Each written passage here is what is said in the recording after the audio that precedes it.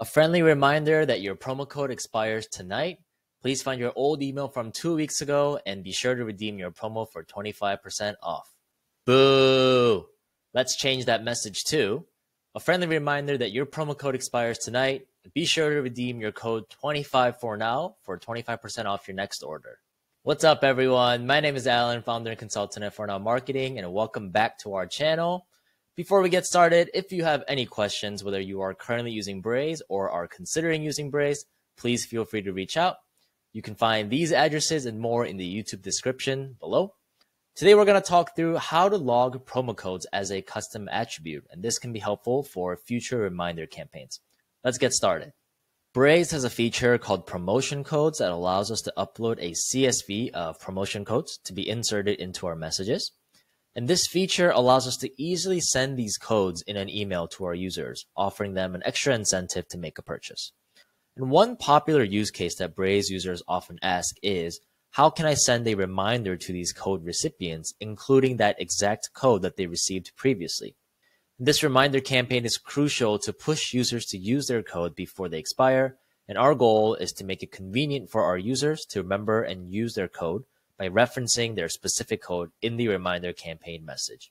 So in this video, we'll briefly go over the process of launching promo codes, as well as logging them as a custom attribute so we can easily send reminder campaigns in the future. First, we have to upload a list of promo codes to the Braze dashboard.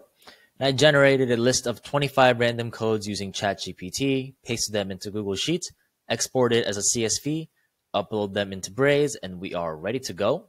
Once our CSV has been uploaded successfully, let's copy the liquid code snippet and head over to create a new campaign. First, we need to inform our users about this new promotion code. So on this first message, we will also log the promo code as a custom attribute on their user profile so that we can send a reminder campaign in the future. So we're going to create a multi-channel campaign. It's very important that we choose multi-channel campaign and add in your desired message channel um, since I don't have access to email in my dashboard, I will send our promo code via a web push, but the idea remains the same. So I type in my copy and I'm going to paste in the liquid snippet that I got earlier from our promo code page. And that's what will bring the promo codes from our list into our messages. Now we are going to add the webhook channel. And once again, it's crucial that we're using a multi-channel campaign for this tutorial. And that is the only way that we're going to be able to grab the exact same promo code used in our web push message and log it as a custom attribute in our webhook. This will use the exact same promo code for both the web push channel and the webhook channel only if the messages are sent in the same batch. And that's why it's crucial to use a multi-channel campaign or a Canvas step.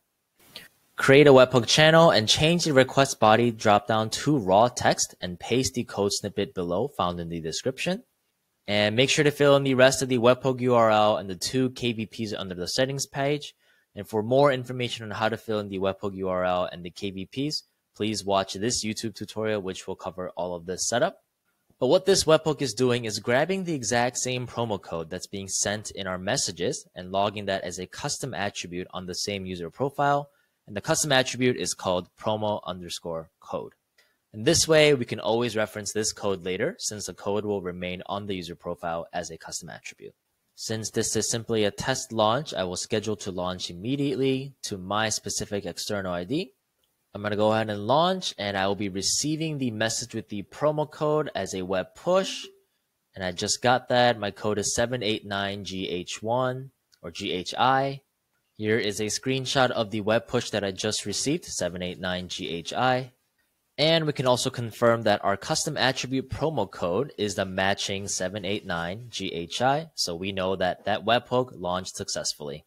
So we are now ready to send a reminder campaign at any time. Create a campaign and choose any message channel that you'd like. And this time we are reminding our users about their promo codes and the message will include the promo code so that the users can access their codes conveniently. So I'm going to build a web push and my message will say, don't forget to redeem your 25% off promo code. And I will add the liquid personalization. Look for a custom attribute called promo code. Once we send this reminder message, the promo code that was logged as a custom attribute on our profile will copy directly onto this message, replacing this liquid snippet. I'll send the test to myself.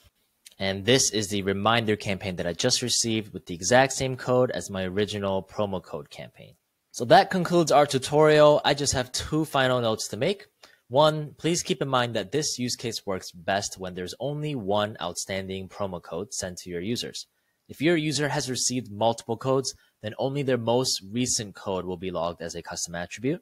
And two, each promo code logged as a custom attribute will incur one data point. That's it for today. As always, if you have any questions, please share them in the comments. We're happy to help. If you learned something from this video, then please subscribe for more awesome Braze videos in the future. Thank you for watching and see you next time.